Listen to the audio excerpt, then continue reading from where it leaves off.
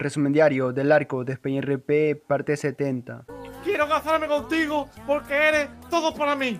Todo para ti, soy toda tuya. Todo. Mis senos son tuyos. Mi vulva también, no todo para ti. ¿eh? Te quiero. Todo para mí. Muy buenos días amigos, empezamos el noticiero del día viernes con lo más destacable del jueves en España RP. Por la mañana del jueves pudimos presenciar la boda entre dos grandes personajes, Paco y Paqui. Esta ceremonia se podría considerar como una de las más conmemorativas de Spain, y no solo por el casamiento de estos dos, sino que en dicha ceremonia estuvo involucrada prácticamente toda la ciudad, y la misma durante todo el día realizó varias actividades especiales. Paco, te quiero. Escucha esto. Estoy muy nervioso, ¿eh? Paco, cógeme y ponte detrás mía. Hazme sexo Paqui, como la cadera. No te quiero un que no está montón. Dejo ya esta Paqui, está hablando, no te canción. escuchamos, ¿eh? Paco, Paqui, no se te Paco, escucha, ¿eh? Hola. Paco. ¡Vamos! Sí, sí, sí. ¡Voy, voy, voy, voy, voy!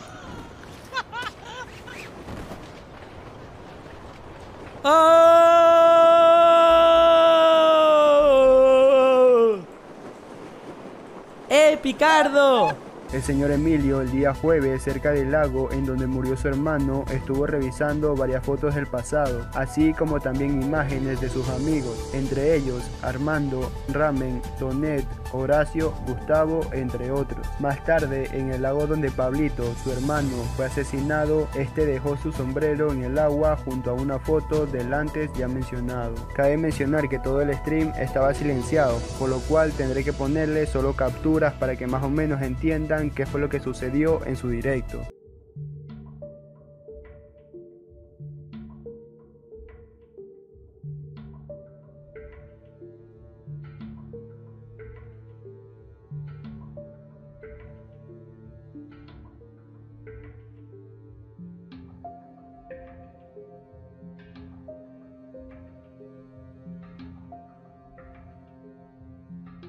El comisario Greco el día de hoy tuvo muchos movimientos en la ciudad de Los Santos, pues nada más empezar, este ascendió a varios miembros del CNP, entre ellos destaca el de la señorita Kiara, quien fue ascendida a oficial por su propia seguridad para pertenecer a la investigación en contra de Mike. Más tarde, dicho comisario participó en dos robos, uno a Fleca, el cual no pasó a mayores, y otro a Banco Central, el cual tenía de atracadores a los de la meta. Cabe mencionar que al final del tiroteo entre los de la meta y el CNP, estos últimos pillaron el DNI y pusieron en búsqueda y captura a Nora Evans, a y Borja Hernández.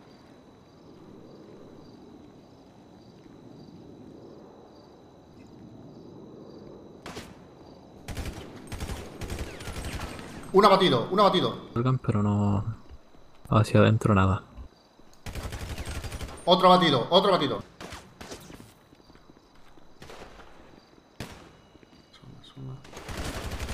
Otro abatido. Buen trabajo. Estoy pensando en moverme esa esquina. ¿Se meten? Se, se meten?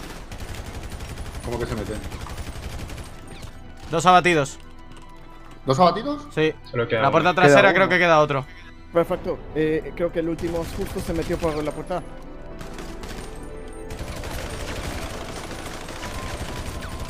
Otro abatido. Con un Medellín. Tres abatidos en la parte trasera. Por la tarde del jueves, Julia, una de las hijas de Mike, le contó al mismo que según Arsacio, un sujeto que pertenece al CNP, el día sábado la Maya realizará algo grande en contra de una mafia. Más tarde, en una montaña en donde se encontraban Arsacio, Mike y Jazz, el primero fue obligado a tomarse una pastilla después de que no soltara información sobre la policía. Cabe mencionar que a dicho sujeto le dejaron una nota y no lo mataron porque según Mike, al Arsacio ser un sujeto muy cercano a Julia les conviene para sus planes a futuro.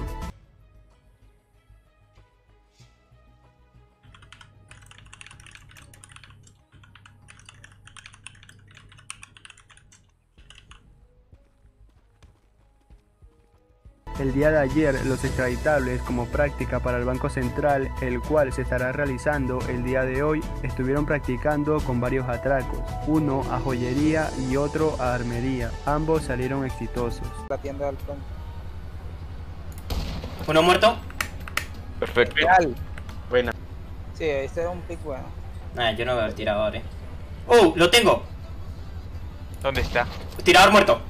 Buena, Cruz. Chuparla. Vale, vale, roto yo. ¡Uh! Uno muerto. Bien. Buena. Al piso, al piso, papá, al piso. A tomar por culo. Uno, dos, tres. Uy, le entraron otros dos, le entraron otros dos. Uf, ese lleva un chicle, el, el más asqueroso. Al piso, al piso ese otro, al piso ese otro. Al piso otro, al piso otro. Mamá huevo.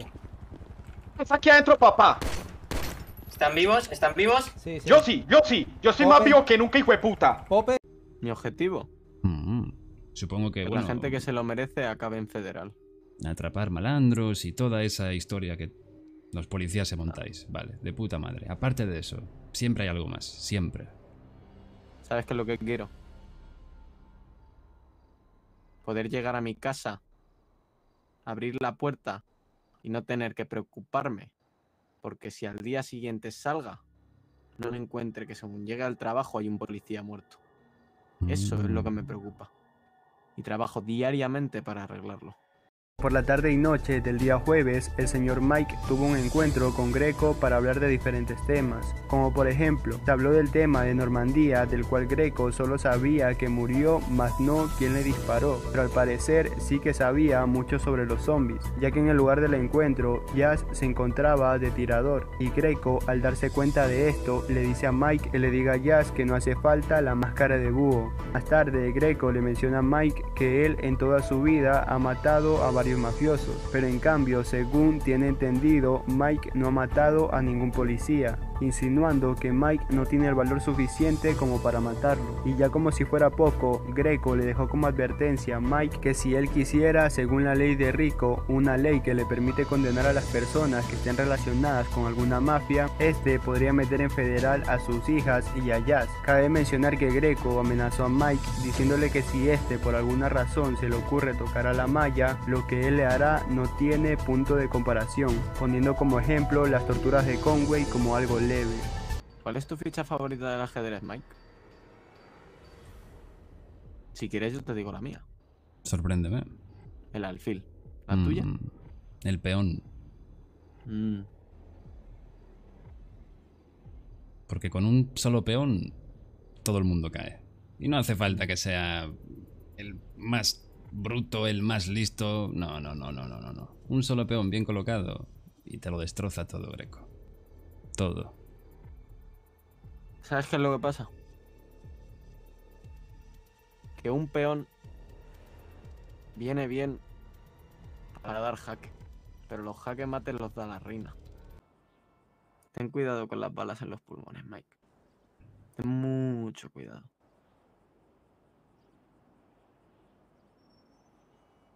Llevaré una pistola conmigo por si acaso, para quitarme el sufrimiento rápido, ¿sabes? Y así no corremos el riesgo de que se me trate en el hospital y esté pillado por los huevos. La policía esté conmigo y alguien piense cosas que no son y me acaben pegando un tiro en la cabeza de verdad.